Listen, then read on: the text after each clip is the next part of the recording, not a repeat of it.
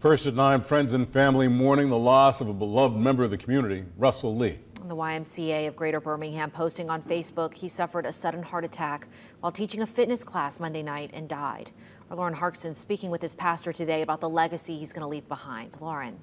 That's right, Catherine. Steve Russell Lee is the definition of a servant of his community. The dozens and dozens and dozens of comments I've seen on Facebook show just how much he was loved and how much he will be remembered. Russell served in so many aspects across the city. He's worked for the YMCA since 1992 as a group exercise instructor at the downtown and Shades Valley locations. He also worked at the Birmingham Public Library for over 20 years. He was even an accomplished musician, serving in music ministry at the First Baptist Church of Fairfield for 13 years. Pastor Victor Lewis said even on Sunday he was playing on the piano in front of the congregation with such enthusiasm and life.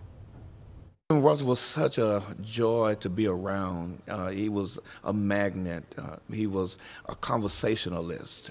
Uh, he was um, a comedian. He, he knew how to make you laugh, and he's just going to be missed because he was just so personable. He was easy to talk to, very humble, and also very gifted. Now, the Birmingham Public Library tells me they are just devastated at Russell's passing, releasing a statement to me today, reading in part, quote, his passion for teaching fitness to our patrons made him beloved by all. And the YMCA of Greater Birmingham saying, quote, he was a lifelong learner and advocate for continuing education.